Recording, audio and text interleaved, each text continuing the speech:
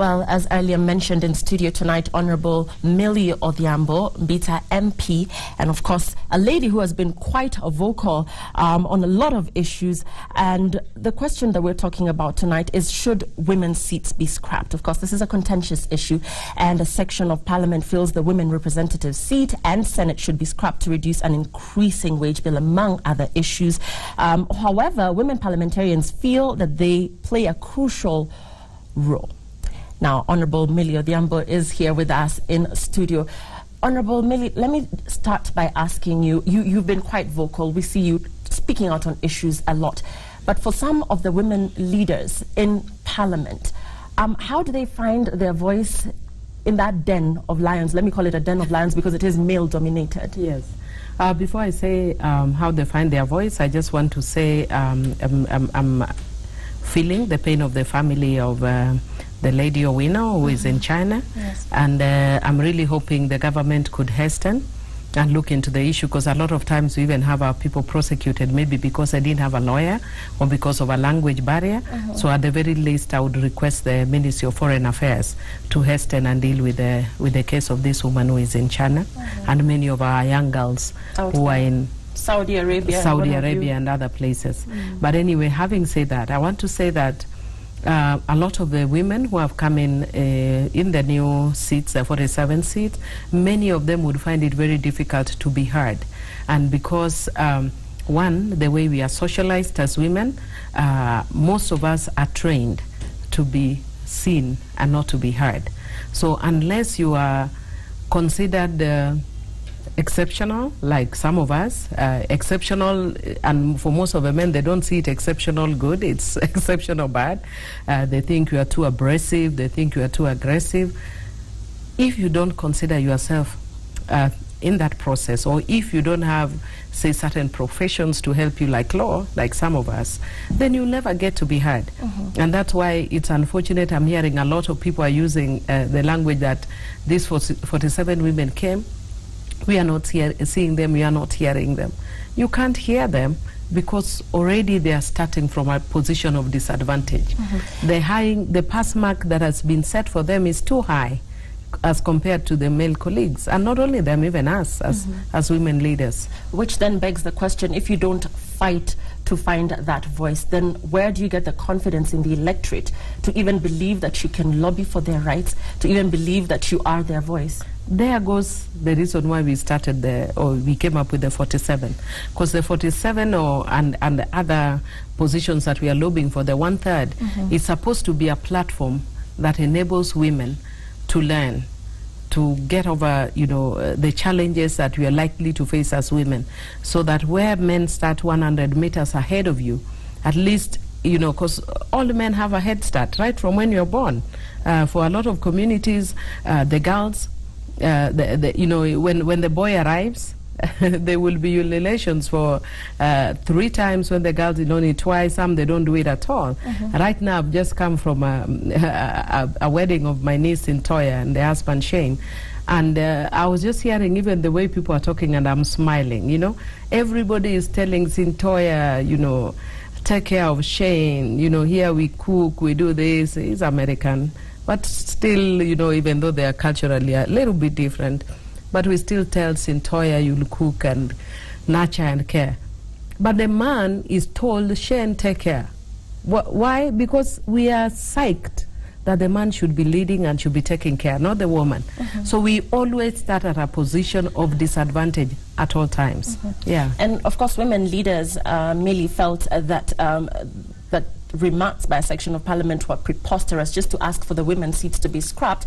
But then there's another section um, of critics that felt that um, the reactions of women leaders were more reactive as opposed to being reactive to the uh, proactive to the issue at hand. So what have women leaders done? What do you feel generally, just a general scope of the I don't think we are reactive. I don't think we are reactive. We are proactive because due to our proactiveness, we already have 47. Mm. That is already proactive. Because absent the 47, I'll give you an example. I would be sitting in parliament as the only woman elected in ODM in the whole country. Now I'm not the only one. Now we are many elected in ODM, courtesy of the work that we did to bring in 47. So that isn't obvious. The same even with the other parties. the representation of women across the party line is really dismal. Uh, even the ones that are boasting of having many women would be having like four or so. We are a total of only 16 elected in the traditional uh, constituencies. So we are not really reactive. We are uh, proactive because we pushed for 47. Secondly, as women leaders, we are already working uh, between us. We are doing even um, peer mentorship amongst ourselves, and we are also doing. Uh, you know, we are doing both vertical and horizontal mentorship for other women leaders. So we are doing all means, you know, to bring in women.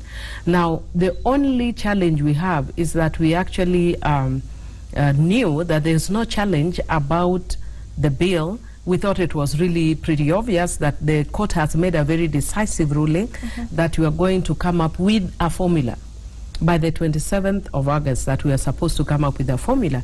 Instead, what the chairman of the Justice Committee does is not to bring a formula, but to come up with his own ruling in Parliament that goes against the ruling of the Supreme Court. Because what is done is not come up with a formula. You can't have a formula that goes on, you know, that sort of suspends what is in the Constitution. So what I believe what uh, the chairman, with due respect of the Justice Committee, is doing is completely unconstitutional and it goes against the the ruling of the Supreme Court. And just um, before, before I, I, I direct my, quest- my next question to you, let me read to you some of the feedback. Um, this is a gentleman who's saying, no, the seats allocated to women should not be scrapped. But somebody here is saying the special seats should be scrapped since equality is all they needed. We should compete as Kenyans and not as gender for any seat. And this gentleman, of course, um, just um, repeating what has previously been said that women are playing victim, that uh, when it comes to appointments, the one third gender rule uh, should apply, but not for elections. What are your thoughts on that?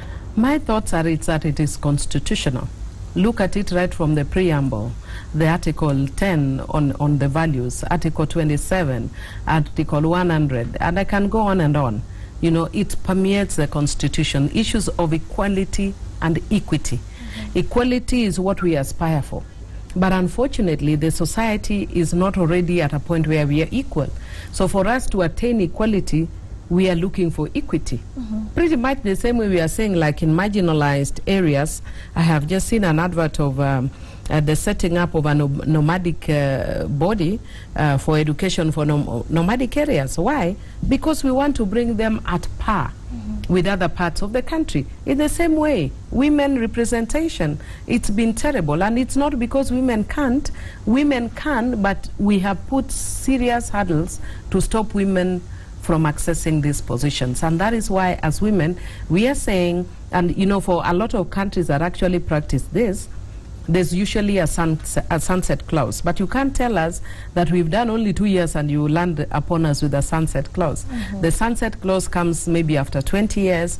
If within 20 years we have come in and you're saying we are not seeing any change, women came in, they are not vying for seats, they've, you know, kind of just taken it easy. But you can't judge it, you know, based on two years. It's two years of what? You, you can't even uh, assess performance in two years. Uh, even right now, if I want to tell you the issues, the challenges that the 47 women face, we as the ones elected in the traditional constituencies, we have CDF. And we are able, if I go down, because unfortunately the Kenyan uh, has understanding of the role of an MP number one is development which is not for you know what we see of the role of MPs in other countries, but in Kenya development is number one. The women MPs have absolutely no money.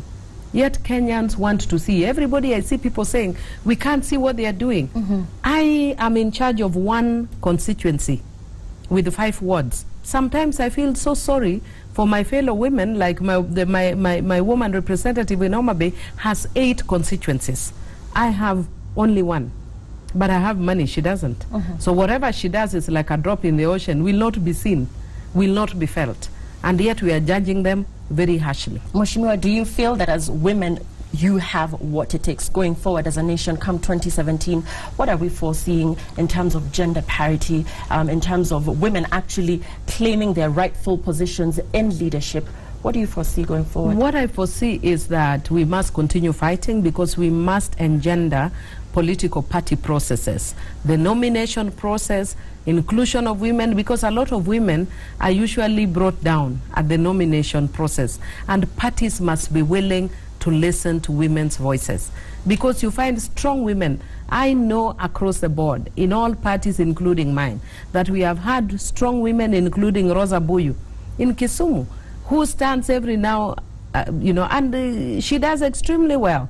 But women, we don't have in us, you know, as much ability as the men to be violent. Most of us are not violent. Mm -hmm. Most of, of us are not excellent at propaganda.